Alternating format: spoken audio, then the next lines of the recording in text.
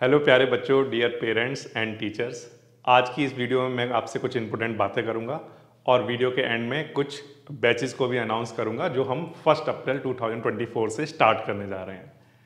कुछ स्टूडेंट्स ऐसे होते हैं जो पूरे साल स्टडी करते हैं और, लेकिन फाइनल एग्ज़ाम में जब वो जाते हैं तो उनके साथ प्रॉब्लम ये आती है कि क्लास के टाइम पे तो पूरे साल अच्छे से पढ़ाई कर लेते हैं। लेकिन एग्ज़ाम टाइम में जाने के बाद एग्ज़ाम लिखने के बाद मार्क्स नहीं आते हैं।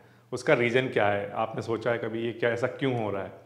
कुछ बच्चे तो ऐसे होते हैं जो बहुत ही हार्ड वर्क करते हैं, घंटों पढ़ाई भी करते हैं, लेकिन वो फिर भी फाइनली मार्क्स में कन्वर्ट नहीं हो पाता है। ऐसा क्यों होता होगा? पिछले कई सालों के एक्सपीरियंस से आपको एक बात बताता हूँ कि अगर आप कोई स्टूडेंट की कॉपी उठाकर देखेंगे फाइनल एग्ज़ाम की कॉपी अगर आप उठाकर देखते हैं तो आपको एक चीज़ उसमें दिखाई देगी कि अगर उसके मार्क्स कहीं पर भी कट हो रहे हैं तो वो सिर्फ़ और सिर्फ़ उसकी कैलकुलेशंस में मार्क्स कट हो रहे हैं। कॉन्सेप्ट तो बच्चा बहुत अच्छे से समझ लेता है, लेकिन जब फाइनल एग्ज़ाम में जाकर क्वेश्चन को करके आता है तो वहाँ पर कहीं ना कहीं बेसिक बेसिक सी मिस्टेक्स होती हैं like minor mistake plus minus multiply divide L C M S C F तो ये छोटी छोटी सी मिस्टेक्स होती हैं। ये मिस्टेक शुरू हुई कहाँ से? आपको वहाँ की, उसके बारे में सोचना है कि ये ऑरिजिन कहाँ था? ये प्लस माइनस की गलतियाँ होना स्टार्ट कहाँ से हुई? स्टार्ट हुई होंगी वहाँ से, जहाँ से इसने पढ़ना स्टार्ट किया होगा इन प्लस माइनस मल्टीप्लाई डिवाइड को। तो अगर हम बेसिकली देखें तो मैथमेटिक्स के जो ऑपरेशन है प्लस माइनस मल्टीप्लाई डिवाइड ये छोटी क्लासों में स्टार्ट कर देते हैं सेकंड थर्ड तक फोर्थ क्लास तक बच्चा अच्छा डिवीज़न प्लस माइनस अच्छे से करने लगता है। लेकिन अगर उसी टाइम पर अगर ये सारी चीज़ें अच्छे से कवर नहीं हो पाती हैं तो फिर बच्चा आगे स्ट्रगल करता ही रहेगा चाहे वो सिक्स क्लास हो सेवन एट नाइन टेन और फिर इलेवन ट्वेल्थ की तो आप बात छोड़ ही दीजिए। ओके तो आ, मैं एक क्लास सिक्स सेवन्थ एट्थ के लिए एक फाउंडेशन कोर्स लेकर आ रहा हूँ। जिसमें हम लोग बात करेंगे सबसे ज़्यादा मैथमेटिक्स के बेसिक ऑपरेशंस को कैसे कैलकुलेट करें प्लस माइनस मल्टीप्लाई डिवाइड ये सारी चीज़ें इजी कैसे हो जाए बच्चे के लिए। दूसरी चीज़ मैं ये भी देखता हूँ कि बच्चे एल्जेब्रिक एक्सप्रेशंस में बहुत ज़्यादा गलतियाँ करते हैं। कोई चीज़ इधर प्लस की है, उधर जाएगी तो क्या होगा? डिवाइड में है तो उधर जाने पर क्या होगा? अगर हम उनको डायरेक्ट सिखा भी देते हैं कि ये प्लस है, उधर जाकर इक्वल के उधर लेकर जाओगे तो माइनस हो जाएगा। ये सब चीज़ें सिखा भी देते हैं, इसके बाद भी वो कहीं ना कहीं गलतियाँ करता रहता है। उसका रीज़न ये है कि अगर हमने उसको ये बता दिया कि ये प्लस है, उधर जाएगा तो माइनस हो जाएगा, लेकिन अगर हमने साथ में ये भी बता दिया कि ये प्लस जाकर उधर माइनस ही हो सकता है और कुछ हो ही नहीं सकता, उसके पीछे का लॉजिक क्या है रीज़न क्या है तो वो शायद लाइफ में कभी उसको भूलेगा नहीं।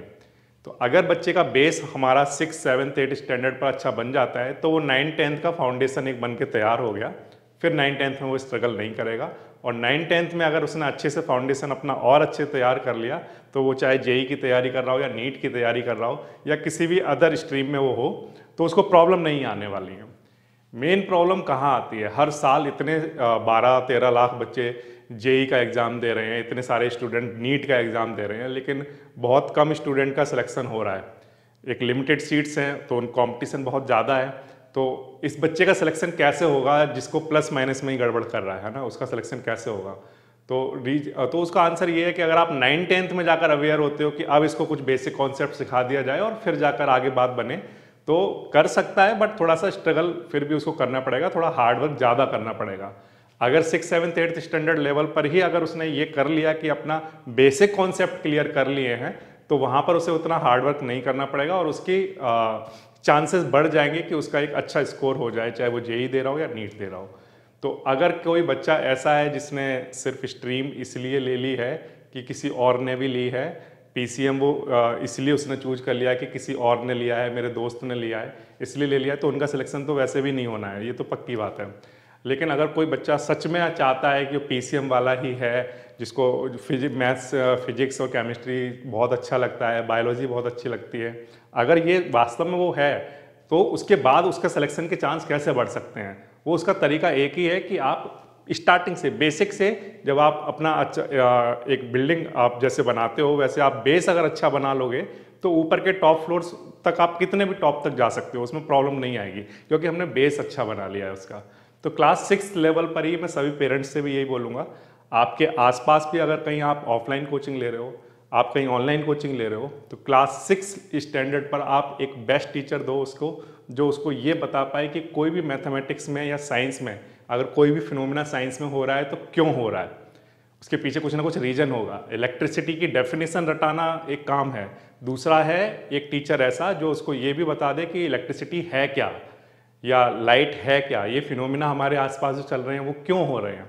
तो अगर क्यों पर अगर बात हो जाएगी तो बात बन जाएगी और सभी बच्चे इजीली स्कोर कर पाएँगे परफॉर्मेंस अच्छा होगा। स्कोर का कोई प्रेशर भी बच्चे पर रहेगा नहीं सिलेक्शन का भी कोई प्रेशर रहेगा नहीं, अगर स्टार्टिंग से ही उसका बेसिक अच्छा बन जाए। तो वो सारे बच्चे जिनको अपने बेसिक कॉन्सेप्ट को क्लियर रखना है, एक बहुत ही अच्छा फाउंडेशन बनाकर चलना है क्लास सिक्स लेवल से ही। वो हमारा टॉपर्स बैच 2024-25 के लिए ज्वाइन कर सकते हैं। वो सभी बच्चे जो, जिनका बेसिक बहुत ही कमज़ोर है प्लस माइनस मल्टीप्लाई डिवाइड में भी आप इवन मिस्टेक करते हो नो प्रॉब्लम इस बैच के अंदर जो हमारा बेसिक फाउंडेशन बैच है सिक्स टू एट के लिए, यहाँ पर मैथमेटिक्स में basic plus minus multiply divide भी आपको सिखा दिया जाएगा, उसमें भी आपको प्रॉब्लम नहीं आएगी। जिन बच्चों का पहले से काफ़ी अच्छा है वो अपना बहुत सारी क्वेश्चन की प्रैक्टिस करके और ज़्यादा स्ट्रॉन्ग कर पाएँगे उसको ओके तो toppers batch class six to tenth के लिए स्टार्ट हो रहा है फ़र्स्ट ऑफ़ अप्रैल से ओके कैसे ज्वाइन करना है? ज्वाइन करना बिल्कुल सिंपल है। आपको प्ले स्टोर से जाकर जी एस क्लासेस ऐप आप डाउनलोड करके वहाँ से ज्वाइन कर सकते हैं। या जो कोर्सेस हैं, उनके सबके सेपरेट लिंक आपको डिस्क्रिप्शन में दिए हुए हैं। वहाँ से जाकर आप ज्वाइन कर सकते हैं, ठीक है?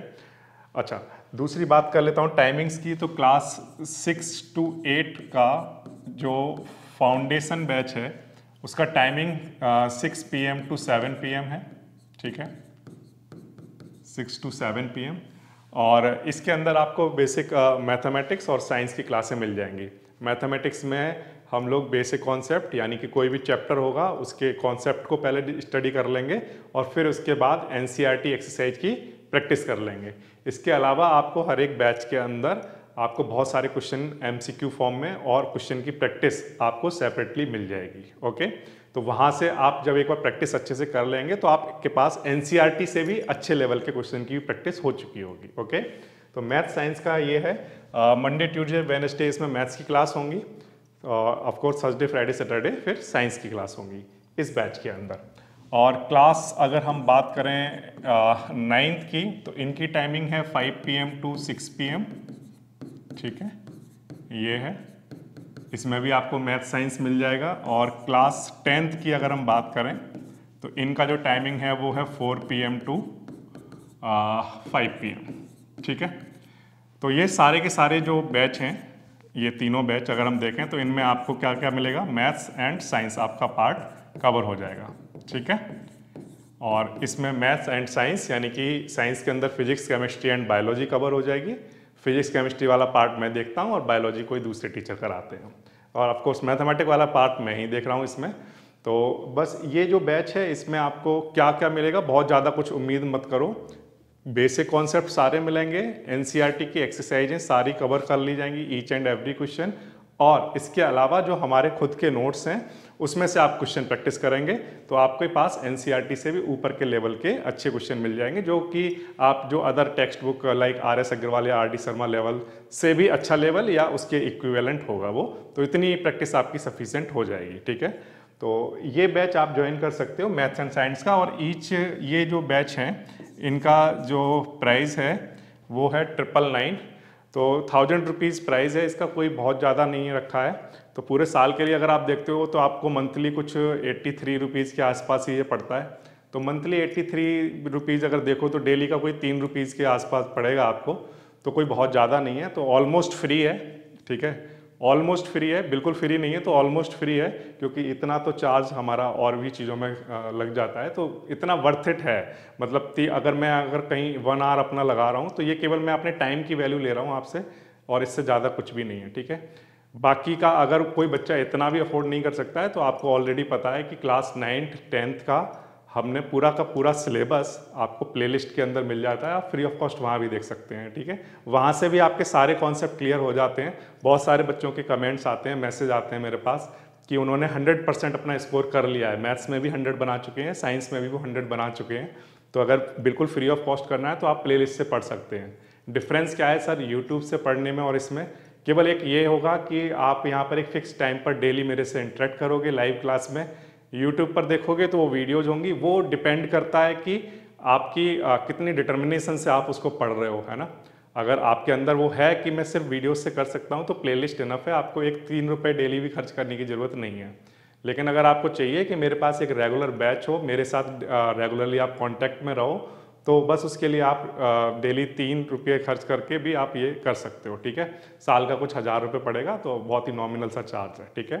तो ये आपका टॉपर्स बैच की बात हो गई आपका क्लास सिक्स टू टेन के लिए ठीक है? टाइमिंग मैंने आपको बता दी फ़ी मैंने आपको बता दी और मंडे टू सैटरडे क्लासेस होती हैं। तो और बस यही है इससे ज़्यादा इसमें कुछ है नहीं बताने के लिए। बाकी का आ, कैसे पढ़ा रहा हूँ मैं उसके लिए डेमो कोई बच्चा बोलता है डे सर डेमो दे दो तो उसके लिए आप यूट्यूब पर दुनिया भर की वीडियोज़ हैं, उसमें से कोई भी वीडियो देख कर देख लो कि टीचर कैसा करा रहा है। अगर अच्छा लगता है तो आप ज्वाइन कर सकते हैं, है ना?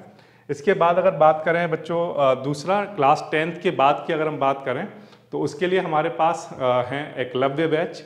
एकलव्य बैच के अंदर आपको क्लास इलेवेंथ और ट्वेल्थ का फिजिक्स केमिस्ट्री और मैथ जो तीनों ही सब्जेक्ट मैंने कराए हैं मैथ्स फिजिक्स और केमिस्ट्री उसके लिए आप इलेवेंथ क्लास और ट्वेल्थ क्लास के लिए एकलव्य बैच हैं, जहाँ जिसको आप ज्वाइन कर सकते हैं। वो जो एकलव्य बैच हैं, वो काफ़ी लंबा चलने वाला है क्योंकि उसमें मैं एक ऐसा कोर्स बना रहा हूँ जिसमें पहले तो बेसिक, अभी बेसिक की नींव रखी जा रही है। अगर कोई बच्चा सिक्स क्लास में है तो जब वो इलेवन ट्वेल्थ में आएगा चार, पाँच साल बाद तो उसको एक ऐसा कोर्स मिल रहा होगा जिसके अंदर, जिसके, जिससे करने के बाद कहीं कुछ और करने की ज़रूरत ना पड़े। तो ऐसे कोर्स बनाने में टाइम लगता है। अभी हमने इलेवन ट्वेल्थ का बिल्कुल बेसिक कॉन्सेप्ट के साथ फिजिक्स, केमिस्ट्री, मैथ वहाँ पर अपलोड किया हुआ है। और साथ में मैं अब हर साल उसमें और कुछ ना कुछ इंक्लूड करता जा रहा हूँ। जैसे क्लास ट्वेल्थ का फिजिक्स इस साल मैं पूरा इंक्लूड कर रहा हूँ उसके अंदर। और फिर नेक्स्ट ईयर आपके पास और ज़्यादा क्वेश्चंस की प्रैक्टिस जेई के क्वेश्चंस की प्रैक्टिस नीट के क्वेश्चन की प्रैक्टिस कुछ ना कुछ उसमें ऐड होता ही रहेगा।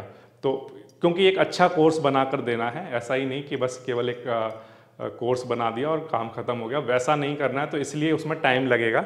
लेकिन अगर आपको चाहिए कि अभी इलेवन ट्वेल्थ जेई नीट की तैयारी के लिए बेसिक कॉन्सेप्ट आपके क्लियर करने हैं तो डेफिनेटली आप एकलव्य बैच को आज ही ज्वाइन कर सकते हो। वहाँ से आपकी बहुत अच्छी तैयारी हो जाने वाली है। वो सारे बच्चे जो स्ट्रगल कर रहे हैं आ, किसी भी कोचिंग सेंटर में कि जब वो कोचिंग में जाते हैं जेई का क्वेश्चन देखते हैं उनको समझ ही नहीं आ रहा चल क्या रहा है वहाँ पर। तो वो फिर फ्रस्ट्रेट हो जाता है, बच्चा उसको लगता नहीं कि मैं कर पाऊँगा। उसका रीज़न क्या है? केवल उसको ये सोचना है कि ऐसा हुआ क्यों? क्यों हो रहा है ऐसा कि जब मैं ऐसे बच्चों के बीच में, पचास बच्चों के बीच में किसी बच्ची, बड़ी कोचिंग में जाकर कोई टीचर कोई क्वेश्चन करा रहा है, उसको समझ ही नहीं आ रहा है कि चल क्या रहा है वहाँ पर। तो सिर्फ़ उसको ये नहीं सोचना है कि ये मेरे से हो नहीं रहा है। ये सोचना है कि मेरे से क्यों नहीं हो रहा है। उसका रीज़न क्या है कि ये जो क्वेश्चन है, ये मैं समझ क्यों नहीं पा रहा हूँ? ऐसी क्या चीज़ है? तो बिल्कुल बेसिक सी बात है कि एक बड़ा क्वेश्चन अगर आपके सामने है तो उसको छोटे छोटे पार्ट्स में ब्रेक करने की ज़रूरत है, क्योंकि एक ही क्वेश्चन के अंदर बहुत सारे बेसिक कॉन्सेप्ट काम कर रहे हैं। तो अगर आपके बेसिक कॉन्सेप्ट क्लियर हैं तो आप उन सारे बेसिक कॉन्सेप्ट को जोड़कर एक बड़े क्वेश्चन को तोड़कर बना सकते हो उसको बड़े आसानी से। एक बड़े क्वेश्चन को हमें छोटे छोटे पार्ट में तोड़कर उसको सॉल्व करना होता है। तो पहले आप छोटे छोटे बेसिक कॉन्सेप्ट अपने बिल्डअप तो करो, फिर उसके बाद ही तो एक बड़े क्वेश्चन को उन छोटे छोटे कॉन्सेप्ट में तोड़ पाओगे, या आप क्वेश्चन को पढ़कर देख पाओगे कि अच्छा इसमें तो ये सारे कॉन्सेप्ट काम कर रहे हैं। क्योंकि generally class nine tenth level तक जो आपके पास क्वेश्चन आता है, वो एक ही कॉन्सेप्ट पर बेस्ड होता है। लेकिन जब आप इलेवन ट्वेल्थ या जे या नीट का एग्ज़ाम देते हो तो मैं पर्टिकुलरली कंपटीशन की बात करूँ तो जब जे नीट की बात आप करोगे तो वहाँ पर जो क्वेश्चन आएगा, उसमें एक से ज़्यादा कॉन्सेप्ट काम कर रहा है। तो जब आप क्वेश्चन को पढ़कर देखने के बाद ये समझ में आने लगेगा कि इसमें ये और ये कॉन्सेप्ट काम कर रहा है तो फिर आप उसको आसानी से ब्रेक कर पाओगे। तो जिन बच्चों के साथ भी ये प्रॉब्लम आ रही है कि वो कोचिंग तो कहीं ले रहे हैं ट्यूशन्स भी जा रहे हैं कहीं पर, या कोई बुक है उनके पास जेई की तो क्वेश्चन को पढ़ के समझ ही नहीं आ रहा है कि उसमें चल क्या रहा है, करना क्या है आगे। तो वो उसका सिर्फ़ बच्चों एक ही रीज़न है, मैं आपको अपने एक्सपीरियंस बता रहा हूँ, उसका सिर्फ़ एक ही रीज़न है कि आपको उस क्वेश्चन के जो बेसिक कॉन्सेप्ट हैं, वो पता नहीं चल रहे हैं कि कौन कौन सी चीज़ें इसमें काम करेंगी। और वो क्यों नहीं पता चल रहे हैं? क्योंकि आप बेसिक पर ना ध्यान देकर सीधा जेई का क्वेश्चन या नीट का क्वेश्चन उठाकर बैठ गए हो। तो उससे पहले क्या करना चाहिए? उससे पहले ये करो कि अपने पहले जो छोटी छोटी सी चीज़ें हैं, पहले उनको क्लियर कर लो। जब आपके पास फिजिक्स केमिस्ट्री मैथ्स के तीनों कॉन्सेप्ट जब बेसिक वाले स्ट्रांग हो जाएँगे, फिर उसके बाद आप क्वेश्चन की प्रैक्टिस करना स्टार्ट करिए। ठीक है? ना कि ये करना स्टार्ट करिए कि डे वन कहीं पर आप क्वेश्चन कोई एक बड़ा सा लेकर बैठ गए और फिर फ्रस्ट्रेट हो गए कि अरे ये नहीं हो रहा मेरे से तो नहीं हो पाएगा। फिर धीरे धीरे आप अपना कॉन्फिडेंस लूज़ कर रहे हो तो वो सारी चीज़ें ना करो। तो जिन बच्चों को भी अपने बेसिक कॉन्सेप्ट को बहुत ही क्लियर करना है क्रिस्टल क्लियर बनाना है, एकलव्य बैच क्लास इलेवेंथ और ट्वेल्थ के लिए आप आज ही ज्वाइन कर सकते हो। उसकी फ़ीस भी बहुत ही नॉमिनल है। तीनों सब्जेक्ट टू थाउज़ेंड रुपीज़ में आपको मिल जाएँगे। और जो कि अगर देखोगे तो डेली का छः रुपये के आसपास पड़ेगा। आपको कोई बहुत ज़्यादा नहीं है। पूरे साल का फ़ीस मैं आपको बता रहा हूँ टू थाउज़ेंड है ठीक है? तो ये मैंने आपको दो बैच बता दिए टॉपर्स बैच और एकलव्य बैच में डिफरेंस सिर्फ़ ये है। टॉपर्स बैच के अंदर लाइव क्लासेस होती हैं। ठीक है?